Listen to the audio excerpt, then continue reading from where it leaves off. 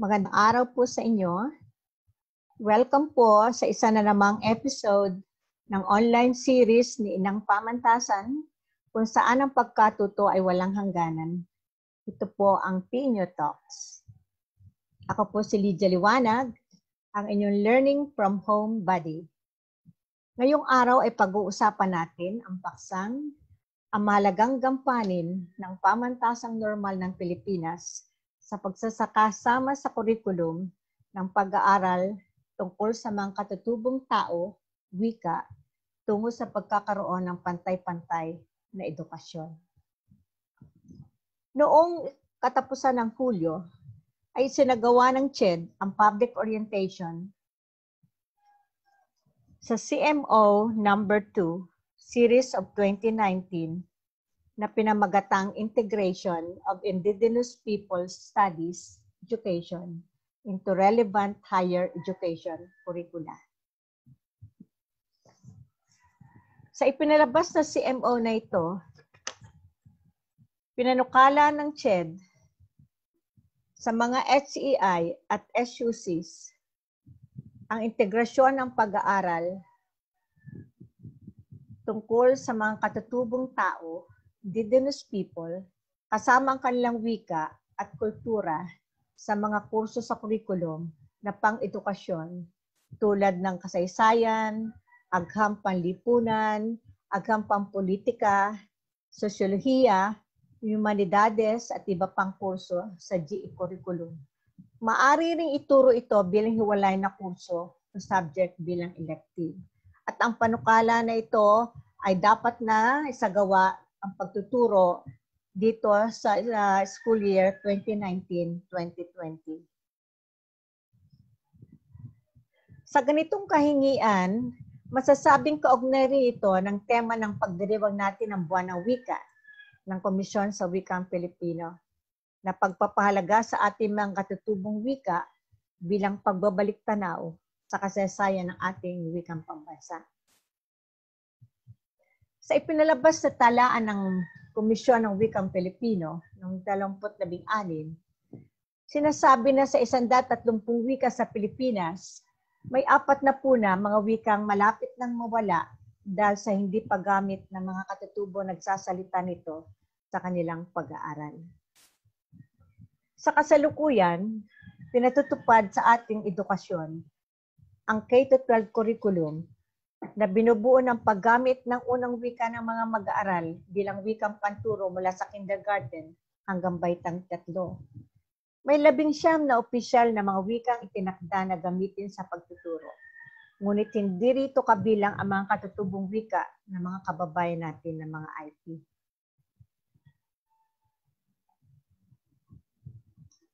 Ano ngayon ang ating gampanin ng pamantasan sa ganitong mga sitwasyong pangwikang inilahad ko. Pansinin natin ang ilang mabibigay nating rekomendasyon. Kailangan nating balikan at suriin ang nilalaman ng mga kurso sa curriculum nating pang-edukasyon. Isama rito ang mga paksa, konteksto at konsepto na nauukol sa mga indigenous people o mga katutubo. Maging sa Pilipino, ay magagawa rin ito bilang bahagi ng mga babasahin at pagtalakay sa mga isyu ng wika.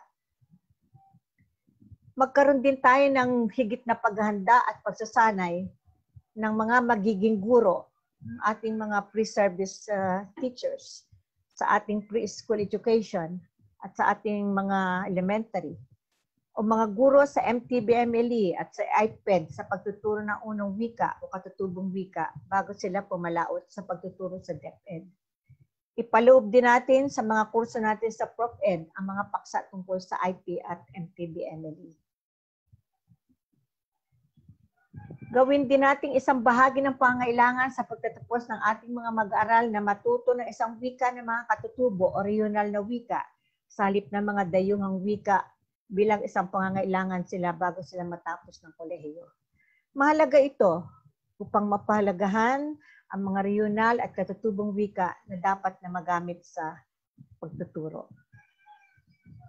Isa pa, magkaroon tayo ng dagdag na espesyalisasyon sa Indigenous People Studies at pagtuturo ng MTBMLE para sa mga mag-aral sa undergraduate natin kasama ng mga kurso nila sa Agham Panlipunan at Pilipino. Buhayin din natin ang ating MA sa MTBMLE na inaprobahan ng ating BOR noong 2010 at nasa ilalim ng dating Departamento ng uh, Languages, Bilingual Education at Linguistics.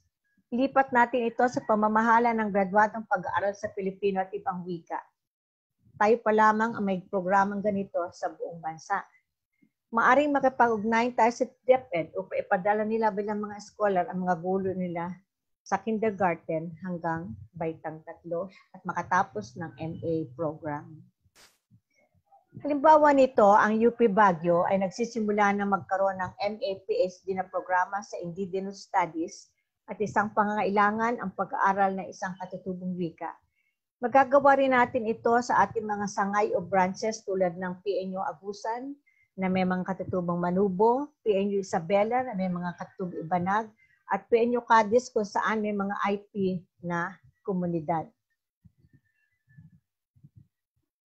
Magbigay din tayo ng mga scholarship sa ating mga katutubong mag-aaral sa mga branches nating na Agusan, Isabela, Cadiz upang makatapos ng pagiging guro at sila na ang magtuturo sa kanilang komunidad gamit ang katutubong wika upang hindi ito mamatay o mawala. Halimbawa nito, ang mga gurong mangyan at lumagat na ngayon ay mga sila na ang nagtuturo sa kanila kanilang mga komunidad sapagkat binigyan sila ng scholarship ng mga kolehiyo sa Mindoro at sa Nueva Ecija.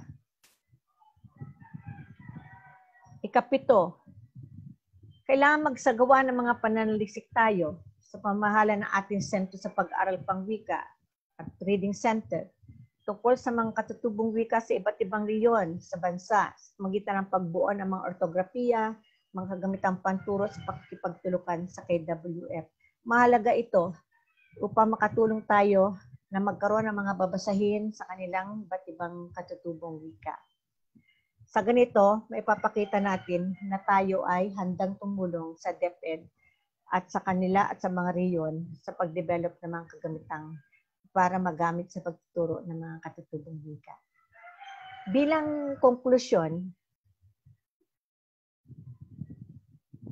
ang ating pam, tayo ay tinaguri ang pambansang sentro sa edukasyong pangguro, NCTE, at mahalaga ang papel ng ating pamantasan upang mamuno sa mga SUC sa pagpapatupad ng CMO number 2 ng CHED at makipagtulungan sa pagbuhay at paggamit ng mga katutubong wika at pagpapahalaga sa kultura ng ating mga kababayan katutubo. Panahon na para mabigyan sila ng edukasyon kapantay ng ibang mag-aaral sa bansa. Makatutulong din ito ang paggamit ng katutubong wika ng mga mag-aaral sa kanilang pagkatuto upang maging madali ang paglipat nila sa pag-aaral ng iba pang wika sa pagtuturo tulad ng Pilipino at Ingles. At bilang panghuli, ipinahayag din ng UNESCO na kailangan ang reforma sa ating kurikulum sa bate edukasyon upang magkaroon ng realistiko at positibong inklusyon ng mga katutubong kultura wika at identidad sa ating pag-aaral at sa ating edukasyon.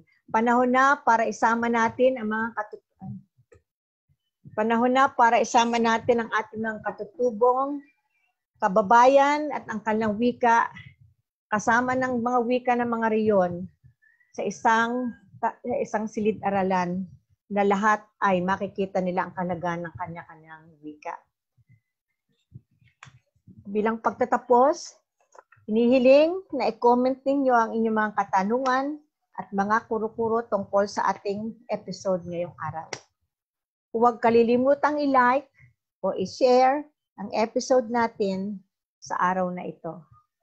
Sa muli, ako po si Lydia Liwanag at sumasa inyo ang P. Inyo Talks. Magandang araw po sa inyong lahat.